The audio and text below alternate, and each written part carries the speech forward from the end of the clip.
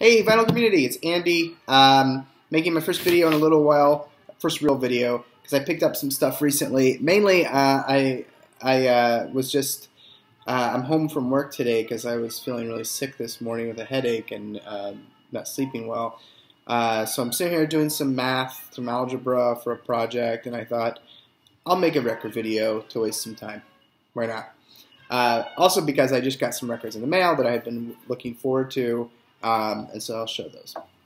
Okay, well, the first thing I want to show, and I was so, uh, I was at End of an Ear this past Sunday, and somebody sold off a collection of Thin Lizzy records. Uh, these were all, uh, every record they had was a UK Vertigo uh, pressing.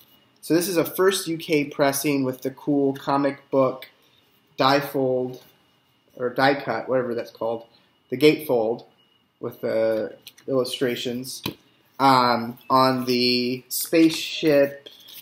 I don't know what people call this, but you know this this label here with the little alien thing on it, uh, and this is Jailbreak.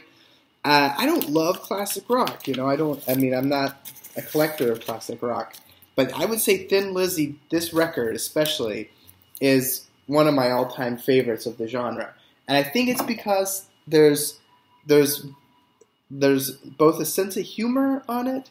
Um, I I never quite understood how songs like you know bands like Led Zeppelin didn't have more of a sense of humor in their lyrics when they're singing about you know kind of some nonsense stuff.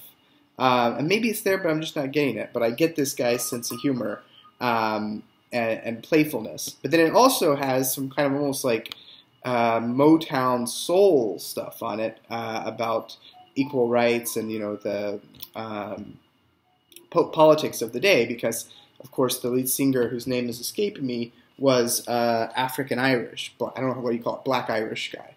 Um, so that was cool uh, to listen to that all the way through on vinyl. I've had it on CD for years, and I've been saving to not saving. I've been waiting to get a vinyl copy until I saw an original I just don't quite like the Mercury uh, label, and I knew you could find these uh, UK pressings for reasonable money. It wasn't uh, cheap, but it also wasn't uh, super expensive either.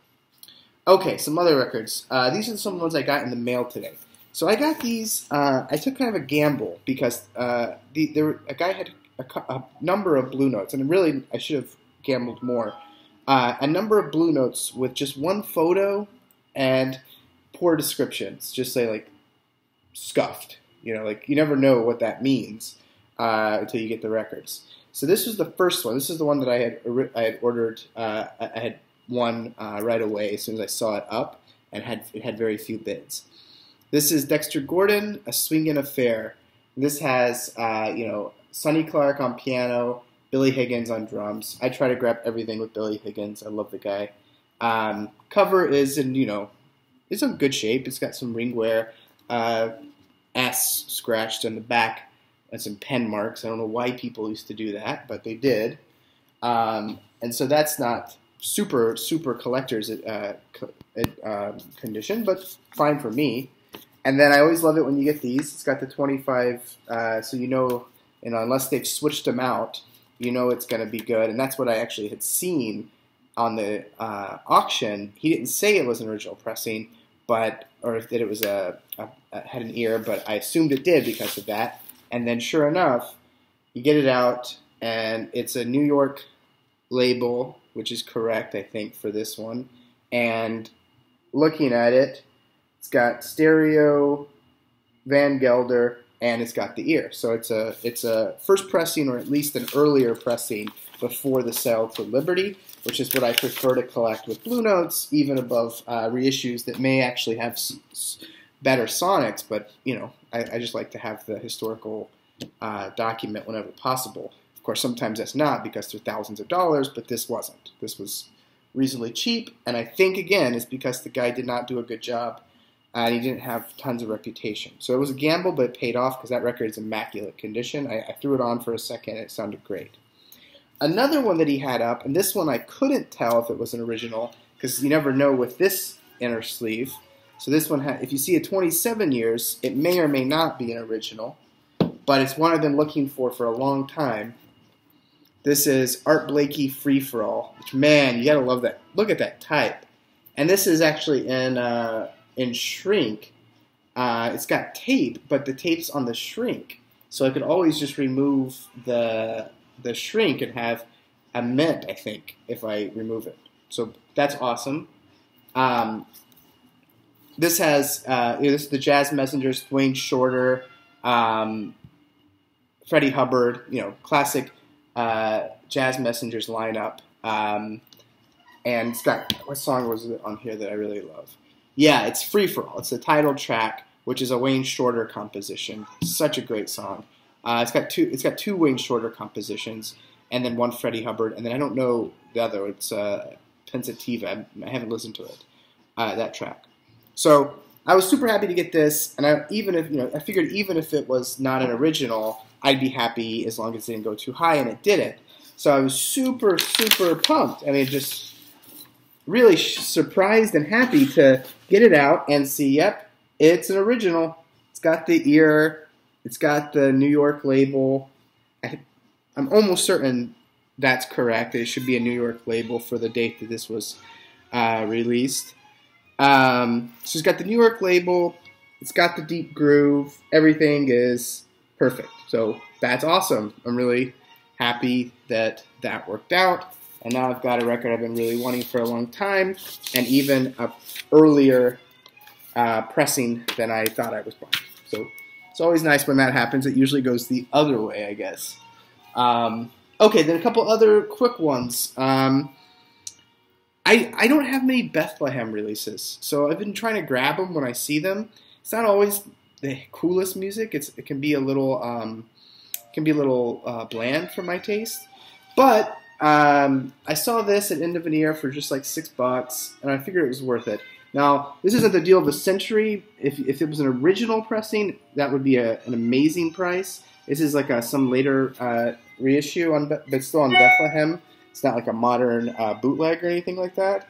And the main reason that I wanted to get this is that it has Art Taylor on drums, Mal Waldron on piano. And uh, anybody who's watched my videos knows I really, really love Mal Waldron. Um, one day I will get his Prestige records. One day.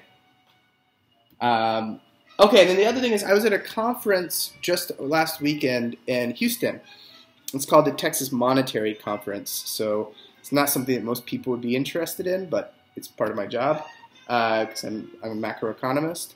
So I was at this conference, and um, it was just Friday afternoon, Saturday morning, which meant I had a couple hours Saturday to, to run around Houston, which I've never done before. So I went to a record shop um, called like the Lagoon.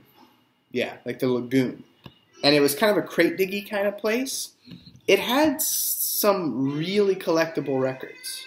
Uh, I left a Yelp review uh, because you know it wasn't the perfect store. They didn't have like a listening station or anything like that, but they had some really collectible stuff, and not and the prices weren't you know discounted. They weren't like all time score prices, but they weren't eBay prices either, which is what I think a record store should should do.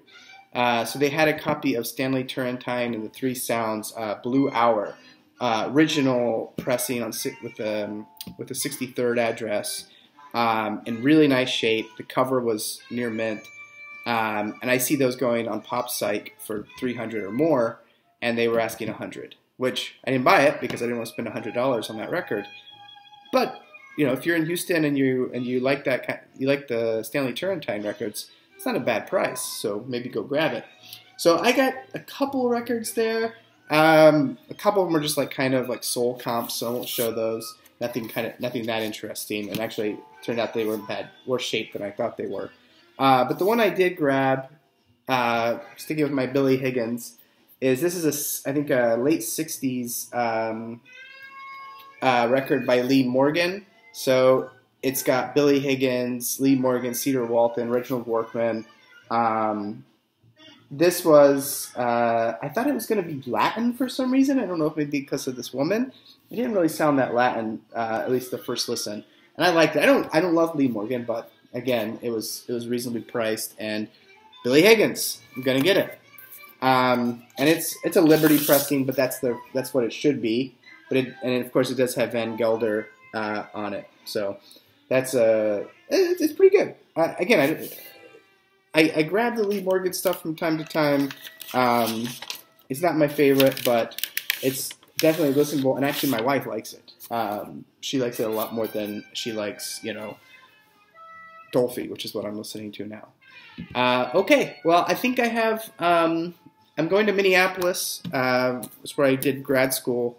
Um, I've been uh, going back. I go back every couple years, so I'm going back up there this weekend. Probably do some record shopping while I'm there, um, and so might might make another video early next week with some Minneapolis finds. Maybe I'll finally get a copy of uh, the replacements uh, Stink, an original. That's the only thing. That, yeah, that's the only original replacements I don't have yet. So it'd be perfect to find a copy in Minneapolis.